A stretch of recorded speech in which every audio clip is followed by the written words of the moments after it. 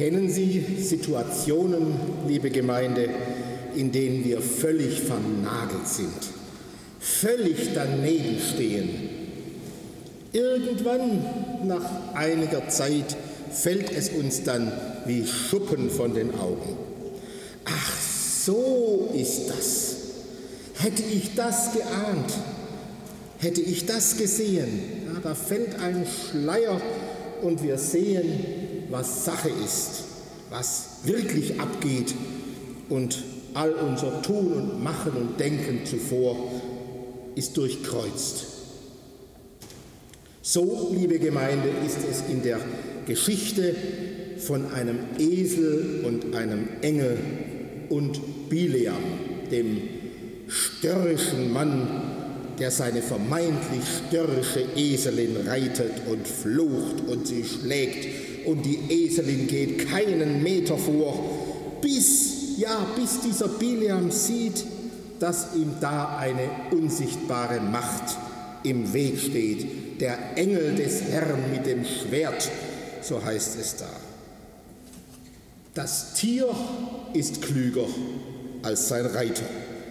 Es sieht das Hindernis und hält an, aber der Mann ist blindwütig und prügelt die arme Esel. Um diesen Biliam soll es heute gehen und natürlich um den Engel, der ihm im Wege steht. Und um Situationen, in denen wir entweder vernagelt sind oder es uns plötzlich wie Schuppen von den Augen fällt. Wer ist dieser Biliam?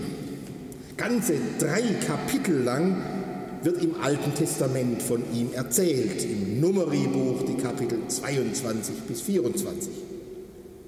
Aus der Zeit, als die Israeliten in der Wüste herumzogen und dann in das gelobte Land hineinzogen und mit einem Volk nach dem anderen in Auseinandersetzungen kamen. Furcht und Schrecken verbreitete sich über sie. Und da kam der König der Moabiter namens Balak auf eine kluge Idee. Er will sich Hilfe organisieren, magische Unterstützung von einem Mann, der sich auf mächtige Worte auf das wirksame Verfluchen versteht. Biliam. Der ziert sich erst ein wenig, aber als ihm genügend Lohn versprochen wird, geht er mit. Biliam ist also ein engagierter Magier, ein Prophet, wie es heißt. Es geht um Schadenszauber um die Gegner zu stoppen. Und nun reitet er auf seiner Eselin mit seinem Auftraggeber, entschlossen vorwärts, obwohl, ja, obwohl ihm vorher eine Stimme Gottes schon gesagt hatte, geh da nicht mit, mach das nicht. Er geht. Biliam sieht nicht, dass ihm der Weg versperrt ist.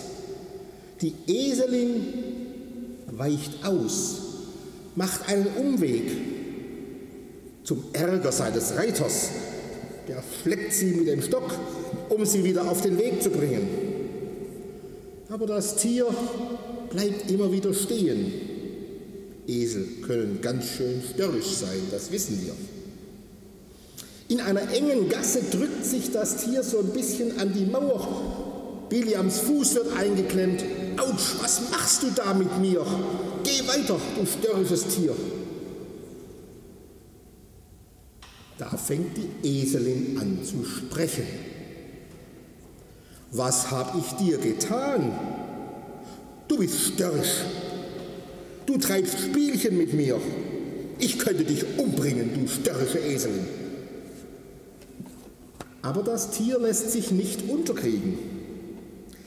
Bin ich nicht deine Eselin, auf der du geritten bist, von jeher bis heute? War es je meine Art, es mit dir so zu treiben? William wird ein bisschen kleinlaut. Nein, Eigentlich nicht, eigentlich bin ich das nicht gewohnt. Und da fällt es ihm wie Schuppen von den Augen. Ich lese aus dem Buch Numeri 22, die Verse 31 bis 35. Da öffnete der Herr dem Bileam die Augen, dass er den Engel des Herrn auf dem Wege stehen sah mit einem bloßen Schwert in seiner Hand. Und er neigte sich und fiel nieder auf sein Angesicht. Und der Engel des Herrn sprach zu ihm, warum hast du deine Eselin nun dreimal geschlagen? Siehe, ich habe mich aufgemacht, um dir zu widerstehen, denn der Weg vor mir führt ins Verderben. Und die Eselin hat mich gesehen und ist mir dreimal ausgewichen. Wäre sie mir nicht ausgewichen, wollte ich dich jetzt töten die Eselin aber am Leben lassen. Da sprach Biliam zu dem Engel des Herrn, ich habe gesündigt, ja, ich hab's nicht gewusst, dass du mir entgegenstandst auf dem Weg. Und nun, wenn dir es nicht gefällt, will ich wieder umkehren. Der Engel des Herrn sprach zu ihm, zieh mit den Männern aber nichts anderes, als was ich dir sagen werde, sollst du reden. Und so zog Biliam mit den Fürsten Balaks. Soweit diese Begegnung mit dem Engel des Herrn, mit dem Schwert, der zu ihm redet und der eigentlich eine Instanz des Redens Gottes ist. Niemand anders als Gott selber steht dem Biliam hier im Weg. Und nach dieser Begegnung ist ihm klar, er kann und darf Israel nicht fluchen. Er kann und darf es nur segnen. Er tut also genau das Gegenteil, und das geschieht nachher, das Gegenteil von dem, wozu er engagiert ist. Sehr zum Ärger seiner Auftraggeber. Aber er muss es tun. Die Worte in seinem Mund werden sozusagen umgewendet vom Fluch zum Segen. Und am Ende dieser Geschichte findet sich dann die Verheißung. Ein Stern tritt hervor aus Jakob und ein Zepter erhebt sich aus Israel. Eine Verheißung, die wir heute in, bei uns in der Adventszeit lesen, eine Verheißung auf den kommenden Messias. So ist der Bogen dieser Geschichte vom störrischen Mann, der zu einem Schadenszauber gedungen wird, über die Begegnung mit Gott und die Segensworte, die einmünden in die große Verheißung für die Zukunft. Gewiss eine ferne Geschichte, weit, weit hergeholt, können Sie sagen. Da geht es um Magie und Schadenszauber.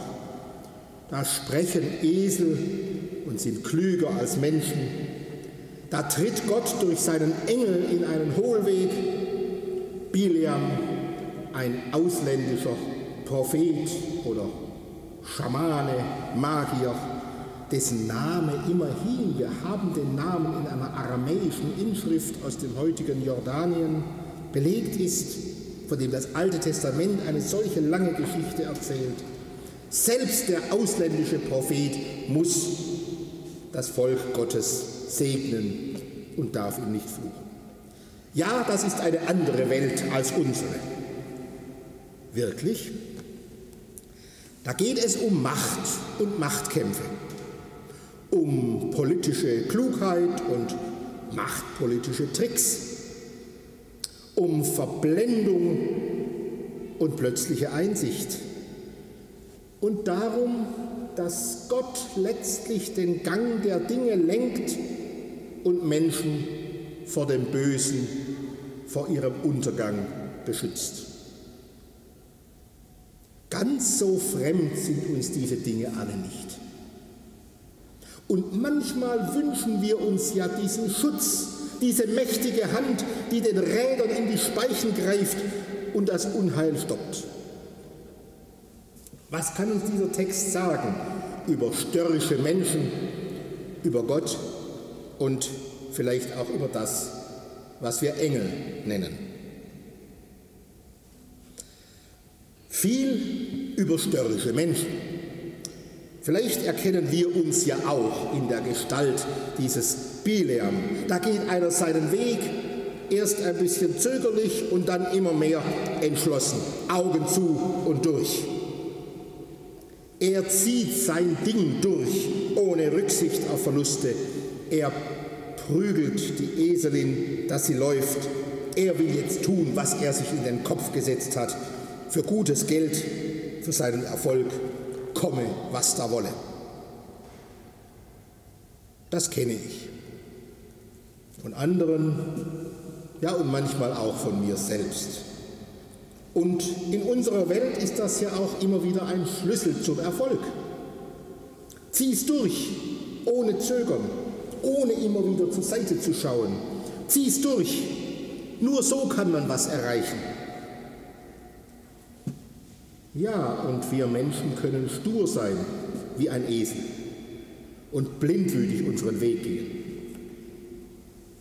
Aber wenn wir blind sind für die Warnsignale, wenn unsere Sturheit uns einfach weitergehen heißt, dann ist es oft erst eine Katastrophe, die uns zur Einsicht bringt, die uns stocken lässt, aufwachen, ein Unfall, ein Burnout, eine Krankheit, eine Beziehung, die zu Bruch geht oder was auch immer.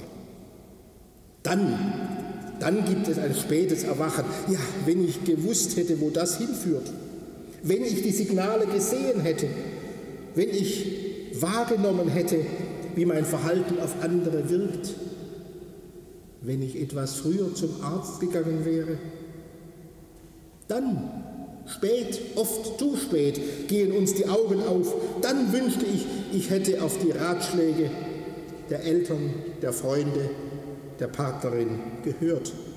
Ich hätte achtsamer wahrgenommen, wen mein Weg zu Schaden bringt und wo mein Ehrgeiz und mein Starrsinn mir selbst schadet.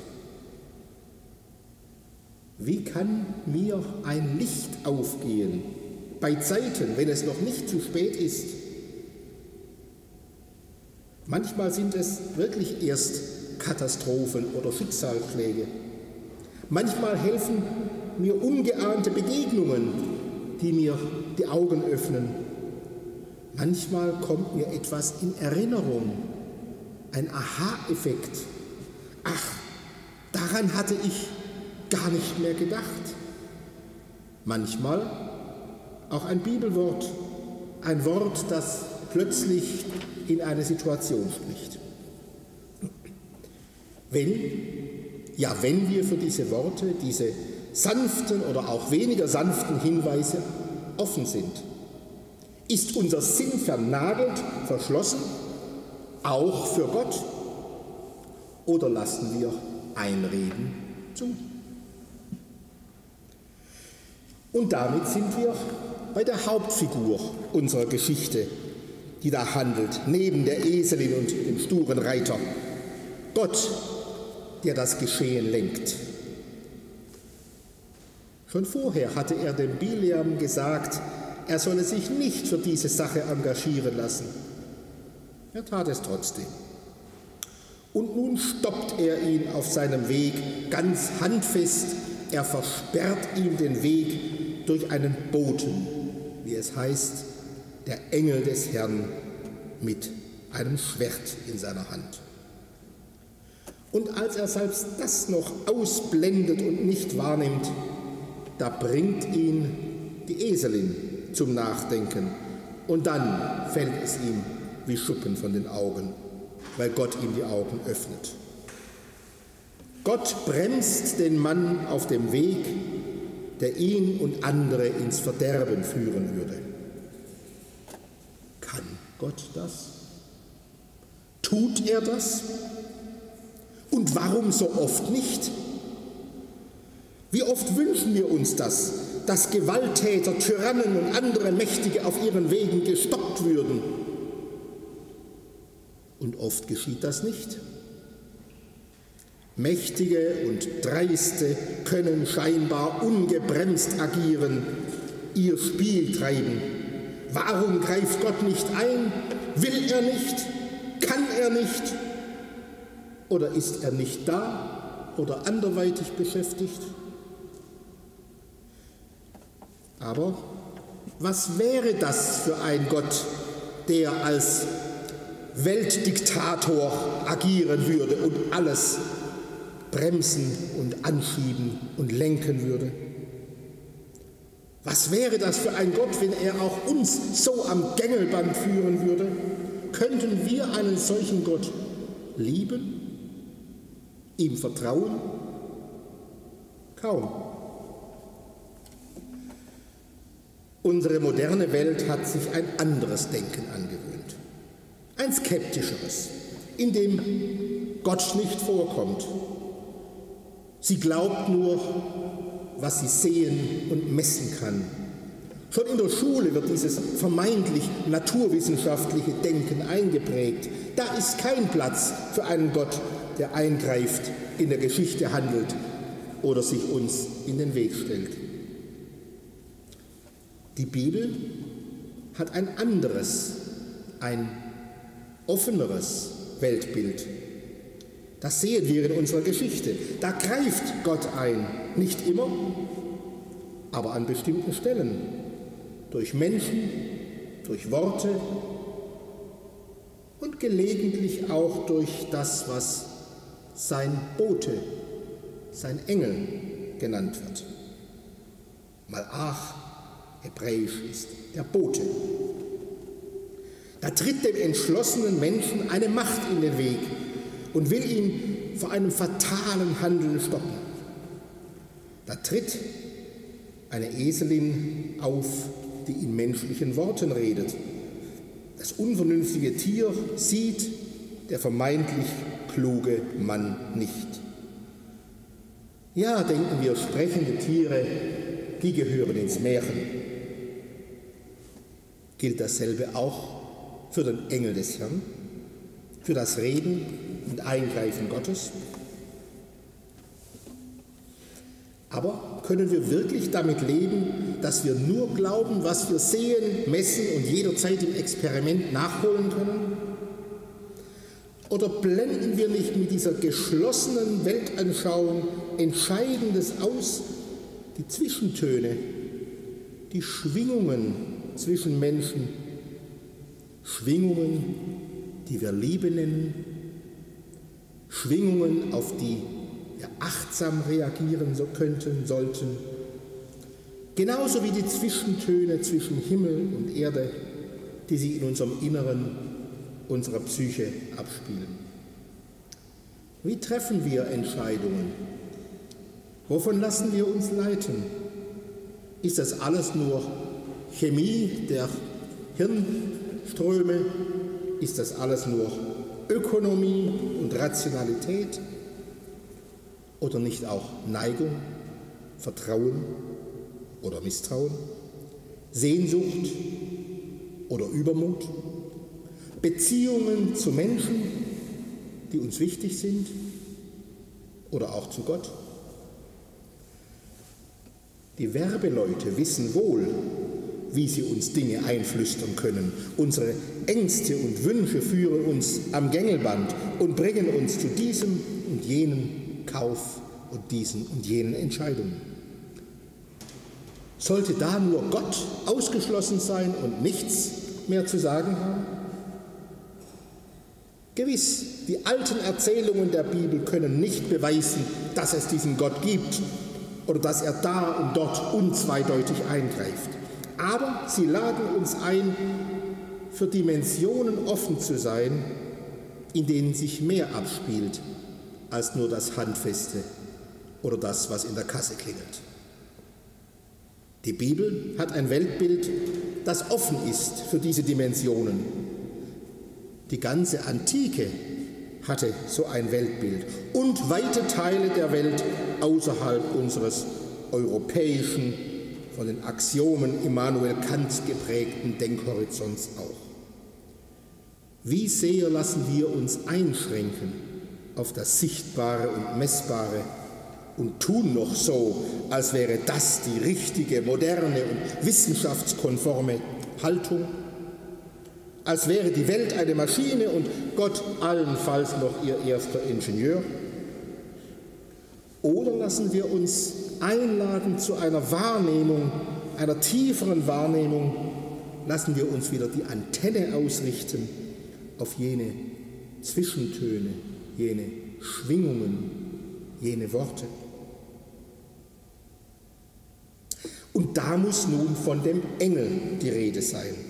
Und der heutige Michaelistag, Gedenktag des Erzengels Michael, wer ist wie Gott? Michael, wer ist wie Gott? Der gibt dazu Anlass. Es ist der Engel des Herrn mit seinem Schwert oder einfach ein mächtiger Bote, eine Macht, die dem Biliam hier im Weg steht. Solche Machtgestalten begegnen in der Bibel immer wieder.